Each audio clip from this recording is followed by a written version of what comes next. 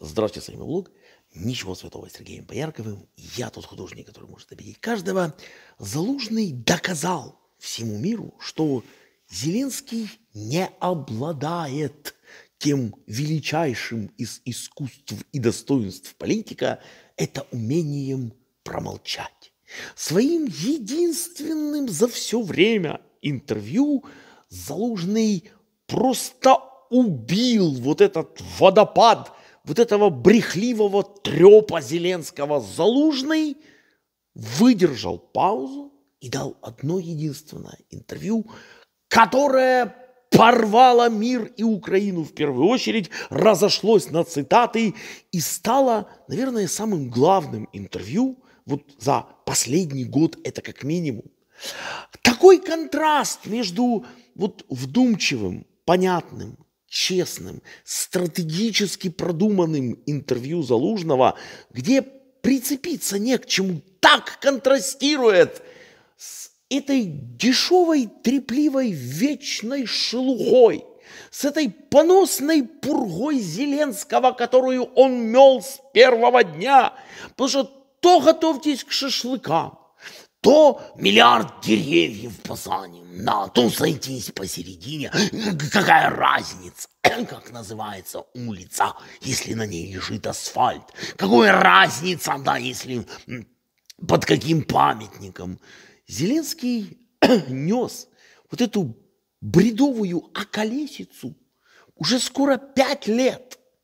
И единственное интервью Залужного, которое было дано западному журналу, причем авторитетному, вот это интервью «Экономист», оно просто холодным душем облило вот общественное сознание и показало, какую трепливую, истеричную, галимую, тупую дешевку выбрали в президенты в 2019 году.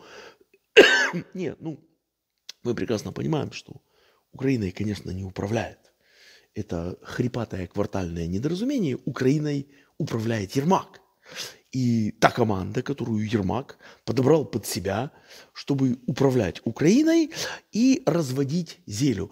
Ермак, э, как уже многие заметили, Э, приступил к стадии сливания в политический унитаз своего шефа.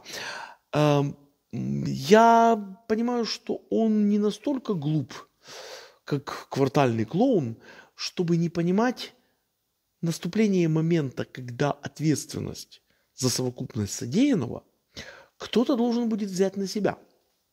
Э, мне кажется, что э, недоюрист это недоучка юриспруденции Вова до сих пор не понимает, что согласившись на кресло президента Украины, потому что фактически те, кто его на это подписали, делали свой расчет. Вова уникальный типочек.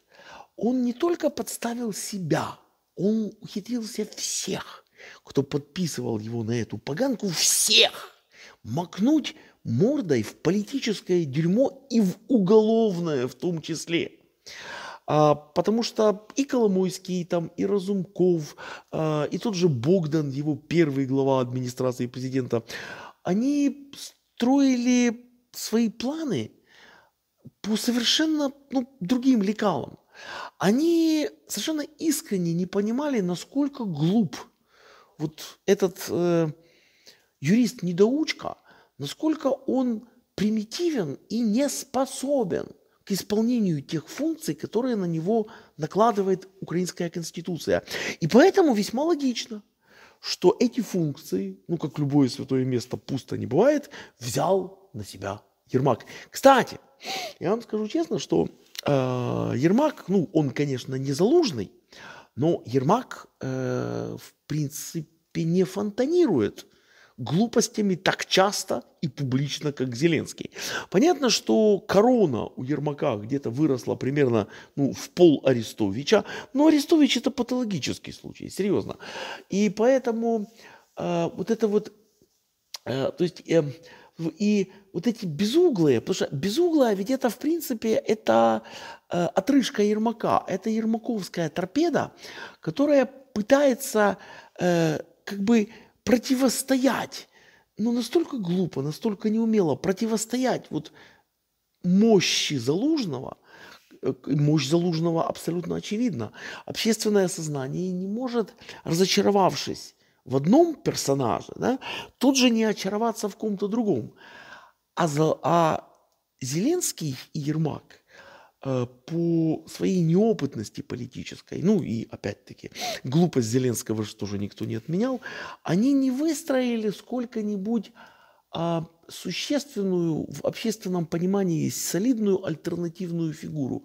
Потому что вот эти связки Стерненко с э, Притулой развалятся при первом же прямом эфире. Как только вернется свобода слова и прямой эфир станет базой для общения будущих кандидатов на выборах, вот тут-то и будут задаваться вопросы, на которые ответить будет не просто нечему, тому же притуле, да, потому что у него же там а, есть определенный анамнез и даже политическая агитация определенная за ним стоит. То есть там очень много всего интересного.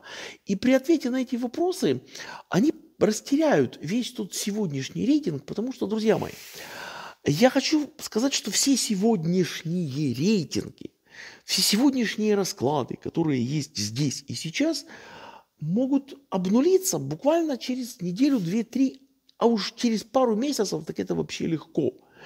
Э, мы находимся в такой ситуации, когда предсказывать чего бы то ни было в политических раскладах и в том, кто сколько чего наберет, э, может только человек глубоко наивный и не разбирающийся в сути политического процесса.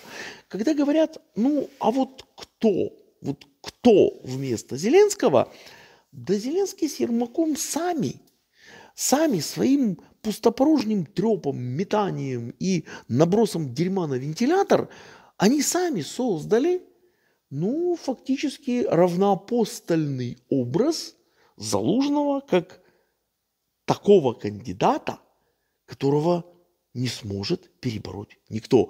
Все, кто натрепали в политике языком, намели пустопорожние пурги и громогласно пукнули, сев в лужу, они априори уже на будущих выборах не смогут снять электоральную кассу.